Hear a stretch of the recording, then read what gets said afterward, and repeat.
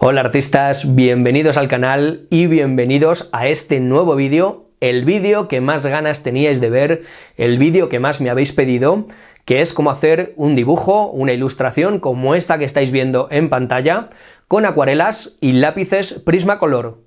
Vamos a verlo.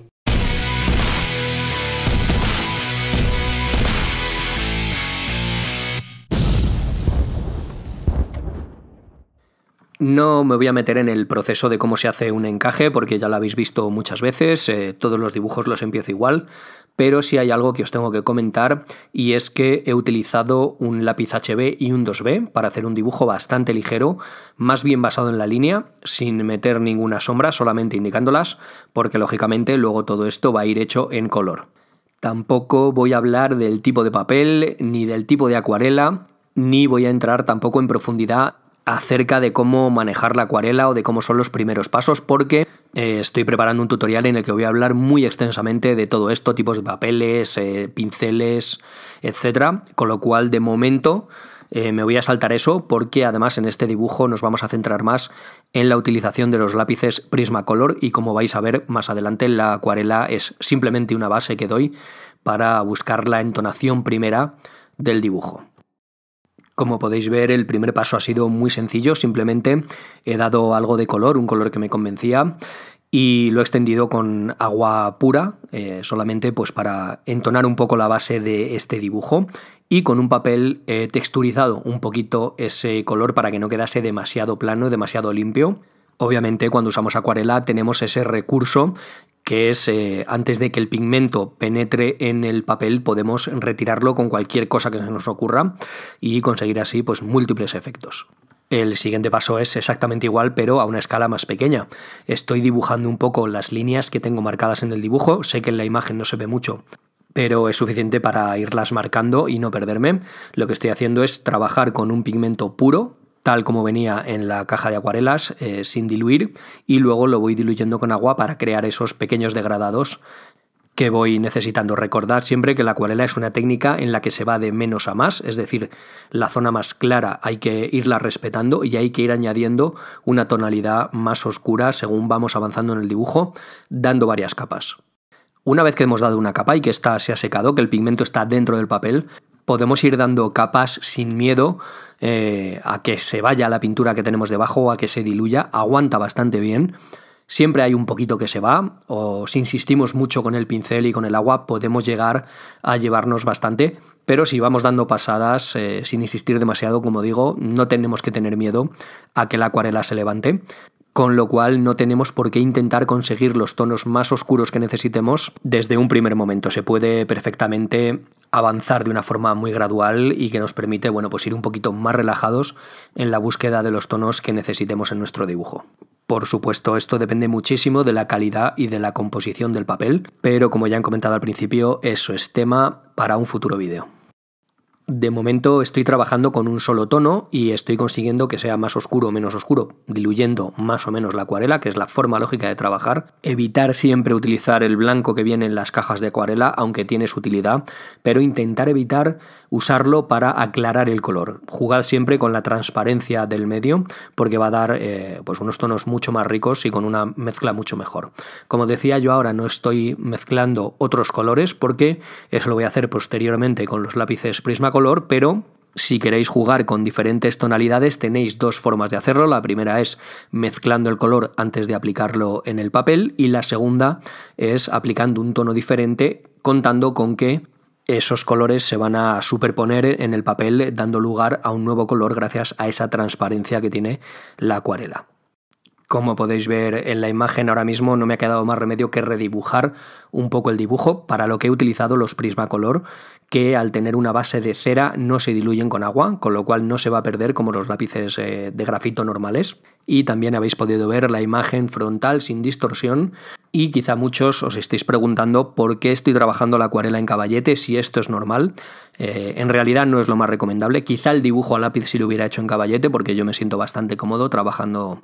sobre una superficie vertical, pero no ocurre lo mismo con la acuarela, eh, a menos que quieras un efecto de que escurra hacia abajo por algún motivo. Al ser tan fluida, al estar diluida con tanta agua, el eh, problema de la acuarela es que el pigmento se acumula en la parte más baja de la pincelada y obviamente si no es esto lo que queremos, pues es más lógico trabajar sobre una superficie plana. Eso sí, siempre hay que asegurarse de que el dibujo lo hacemos con la inclinación adecuada para que no tenga distorsión, pero una vez que el dibujo de base está hecho, podemos trabajar con una inclinación eh, algo menor de lo normal y la distorsión no se va a notar demasiado en nuestro dibujo. Por cierto, lo que estáis viendo ahora es una veladura, es decir, una capa de color general a toda la imagen que he dado porque se me estaba quedando demasiado clara.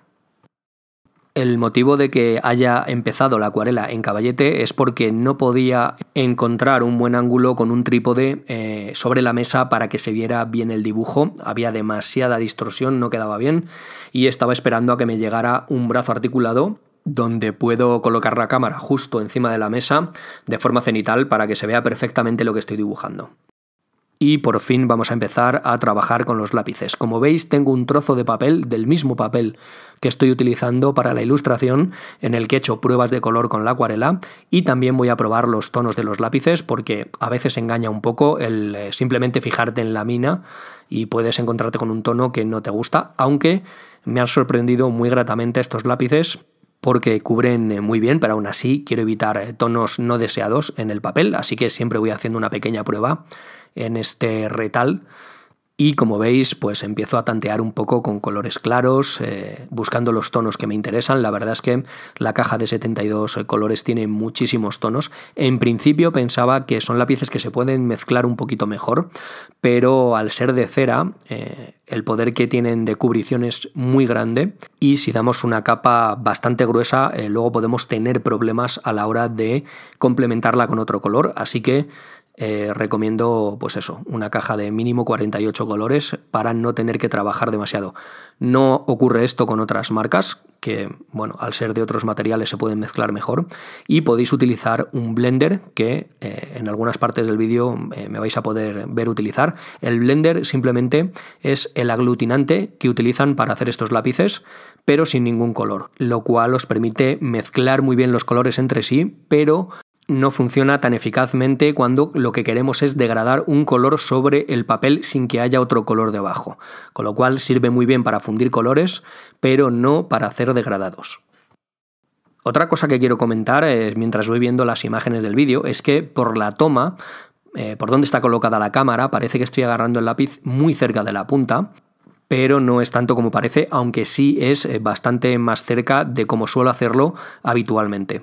Esto ocurre por dos motivos. El primero es que los lápices vienen con una punta muy muy cortita cuando los utilizas por primera vez y el segundo motivo es que hay que apretar bastante para que el color eh, cubra. Entonces eh, hay veces que cuando ya tengo un color debajo tengo que hacer bastante fuerza, lo que me está obligando a agarrar el lápiz de esta manera, que desde luego no es la forma en la que suelo hacerlo. Mientras veis en la imagen que voy haciendo pues, eh, detalles más pequeños, voy a aprovechar para hablar de algo que mucha gente me ha preguntado y mucha gente me ha comentado también que les ha ocurrido, y es si las puntas de estos lápices, si la mina es tan delicada como dicen. Hay gente que dice que la mina se rompe mucho al sacar punta porque están descentradas en el lápiz, eh, las propias minas. A mí no me ha ocurrido, todos los lápices que, que tengo en la caja han venido perfectos y creo que esto es un problema que la propia marca se ha esforzado en eh, resolver en, bueno, en los últimos tiempos, pero lo que sí me ha ocurrido es que eh, un lápiz que se me ha caído eh, al suelo, luego la punta se rompía con bastante frecuencia, lo que me hace pensar que ocurre lo mismo que con los lápices normales de grafito, que bueno, al recibir golpes internamente la punta se rompe y al sacar punta, pues obviamente si está rota, pues pierde toda la fuerza que tiene y, se va desmenuzando cuando vas sacando punta, con lo cual a veces es imposible tener una punta bien afilada. Yo creo que no hay eh, otro motivo porque tampoco son las puntas son especialmente delicadas, no me parecen demasiado blandas para eh, la cantidad de pigmento que dejan en el papel, lo cual es un mérito pero lógicamente os aconsejo que tengáis cuidado con los lápices, que siempre los dejéis en el estuche cuando no los estéis usando para evitar que rueden y se os caigan, porque si no, pues es una faena tener un lápiz que, pues, que no puedes utilizar y tener que sustituir con otro, especialmente cuando hablamos de lápices eh, pues, de un cierto precio. Otra cosa que me ha gustado muchísimo de estos lápices es que de una forma relativamente fácil puedes cubrir un color más oscuro con uno más claro si insistes eh, lo suficiente y que se mezcla bastante bien. Es decir, que puedes cometer el error de irte a un color demasiado oscuro y luego aclararlo con otro o simplemente hacer mezclas sobre el papel. Es decir, en lugar de elegir un color en el propio lápiz, si no tienes un tono que te convenza o si trabajas con cajas de pocos colores, sobre el papel puedes mezclarlos, especialmente si utilizáis el Blender que por cierto os dejaré en la caja de descripción, como siempre un enlace para que podáis eh, comprarlo en Amazon, tanto de los lápices como de los blenders, etc. Pero como decía, me ha gustado mucho que el pigmento cubre mucho y que es relativamente fácil de mezclar y sobre todo que te permite una cierta libertad de aclarar colores, como por ejemplo pues, eh, esos puntos eh, blancos en los ojos o el color del iris, que bueno, eh, tiene algunas vetas un poquito más claras y las he podido hacer con mucha más facilidad de lo que pensaba. Como conclusión a este vídeo, ahora que estáis viendo cómo hago los detalles del final, vosotros habéis visto en poco más de 12 minutos el proceso, pero en realidad son unas 5 horas de trabajo. Os voy a decir que me han parecido unos lápices espectaculares que dejan muchas más opciones de las que yo pensaba al principio y que desde luego se van a convertir en una de mis herramientas habituales cuando trabaje con técnicas tradicionales en color. Desde luego me parecen una muy buena compra y lo recomiendo encarecidamente, especialmente si lo que queréis es dar toques finales o algunos retoques a vuestras acuarelas. Son dos técnicas que casan muy bien y que se pueden utilizar perfectamente juntas y como veis dan muy buen resultado.